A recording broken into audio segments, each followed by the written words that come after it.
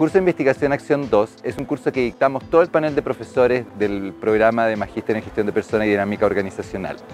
En este curso partiremos analizando cómo se define un problema, cómo el conocimiento científico y profesional existente nos permite tener un marco de referencia para poder recolectar información y analizar esa información de modo de tener mayor claridad y mayor precisión de qué es lo que está pasando.